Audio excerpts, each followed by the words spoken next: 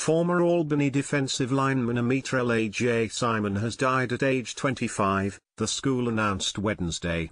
Simon helped Albany reach the FCS playoff semi-finals this past season and earned first-team All-CAA honors after recording 55 tackles, 37 solo, 12.5 sacks and 21.5 tackles for loss. Simon posted 5 sacks and 10.5 tackles during the 2022 campaign after transferring from Division II Bloomsburg. The Albany football program was deeply saddened to learn of the passing of former student-athlete Amitral A.J. Simon this morning, Albany said in a statement. A.J. was a tremendous young man and even better teammate throughout his time at Albany. He was a role model both on and off the field, serving as a pillar to this program over the last two years. He will be profoundly missed. Simon was considered a potential draft pick in next week's NFL draft.